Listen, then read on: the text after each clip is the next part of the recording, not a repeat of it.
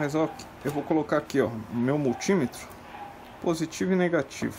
Vou pegar um jacarezinho aqui.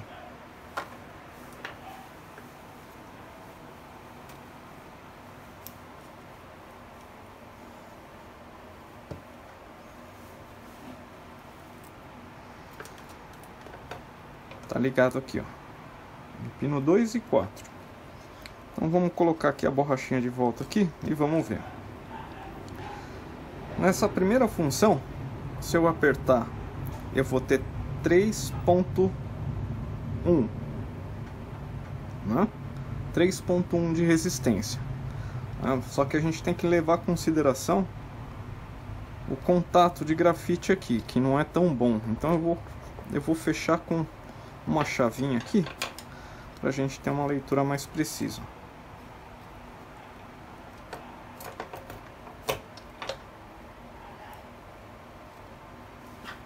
Então a gente tem zero. Vou fechar esses dois aqui.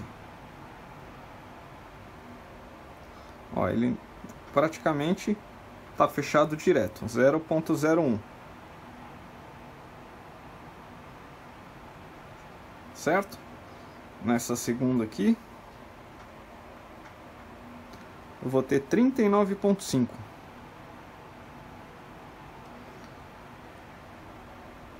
Nessa terceira.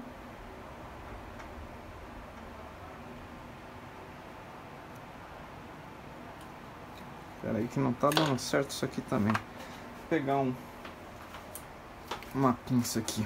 Vamos ver se eu consigo fechar melhor com a pinça.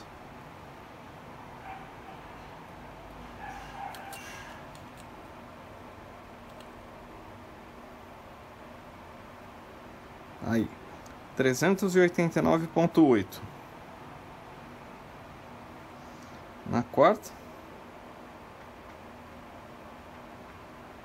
121.3.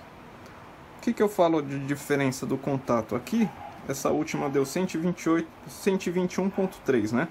Se eu apertar com a borracha, dá 124.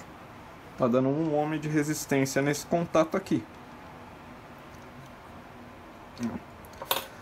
O resto dos botões são todos iguais. Né? Então como que ele funciona? Como ele determina o que cada função faz? Vou colocar ele aqui.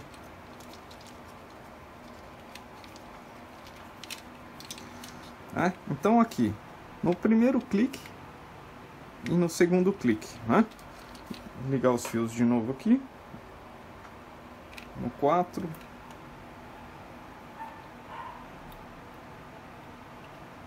e no 2. Bom, vocês me desculpem se ficar meio confuso, mas eu estou tentando usar as palavras mais simples para poder explicar. Estou né? fazendo o máximo para não entrar em, em nada técnico, para não dificultar o entendimento, né? Então aqui no botão, de maneira prática, é o seguinte, o que a gente viu. No primeiro clique do botão, a gente vai ter 395 ohms. Foi o que a gente mediu naquele resistor, quando a gente mediu direto, deu 389.6, né? O primeiro clique. 0 é 395 ohms, né? Por que que tá dando 395?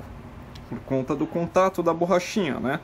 O certo seria 389, que é o valor do resistor mas ele tem um pouquinho de diferença. O segundo clique está dando 125, o resistor tinha 120. Então 5 ohms de diferença contato da borrachinha. Primeiro clique para subir, 47 ohms, né? Deveria estar tá dando 39. A diferença, a resistência da borrachinha. E o segundo clique tá dando 7 ohms, deveria dar 0.01, né? Que é circuito fechado. Mas novamente, a diferença da resistência da borrachinha. Mas o importante saber que cada uma dessas resistências ele manda um tipo de sinal para o módulo de controle. E o módulo identifica uma faixa de funcionamento dessa resistência como uma função específica. Né? Se a gente colocar o primeiro clique aqui e a gente vai ter 51 ohms, né? o certo seria 39, mas uh, eles, o módulo já é programado para quando receber esse tipo de resistência, ele já faz a função de subir, mas não automatizar, ele só sobe e quando você soltar ele para. Já o segundo clique, o módulo já sabe que é um comando para automatizar. Você dá um, um clique aqui, duplo, né? E solta e o vidro continua subindo sozinho até chegar no final. Certo? O retrovisor é a mesma coisa, né? O retrovisor ele trabalha com um terminal com quatro funções. Como o módulo entende o que, que você quer fazer com o diferencial de tensão, ele reduz ou aumenta a tensão, né? Ah, o resistor serve para isso, para aumentar, para diminuir, né? Para controlar a tensão, né? Na verdade, o resistor sempre diminui a tensão. Então ele ele reduz a, a tensão a um certo patamar que a programação do módulo entende que é para realizar uma determinada função. Né? Não é tão complicado. Tá? O botão, a vantagem desse tipo de sistema é que você precisa de apenas um terminal para fazer quatro funções diferentes. Né? Então, um terminal faz quatro funções diferentes. Daria até para fazer mais, dá para fazer infinitas funções só variando os resistores. Tá certo? Se você tiver conhecimento em Arduino, em programação, você consegue, através dessa variação de tensão ou nessa variação de resistência, se você usar, no caso do Arduino, uma referência e fazer a variação, você consegue fazer o controle individual de cada uma dessas funções. Né? E numa placa, se você quer saber se o resistor está certo, você tem um conjunto de resistores para cada um dos interruptores. Né? Os valores são todos iguais, tá? porque ele muda o pino. O botão do vidro dianteiro está aqui, né? esquerdo, do dianteiro direito está aqui, né? e ele tem mais terminais aqui para fazer a função do vidro, dos dois vidros traseiros e do bloqueador. Tá certo? Então, o que é principal aqui? O importante é sempre você estar tá descobrindo qual que é o pino de referência e usar sempre os test points aqui para fazer as medições. Por isso que vem com essas bolinhas aqui douradinhas aqui perto dos contatos. Tá certo? Isso você encontra em todas as placas de circuito. Esses test points. Tá joia? Bom, nesse vídeo eu vou ficar por aqui. Eu sei que vai ter dúvida, então por favor deixa aí nos comentários, tá certo?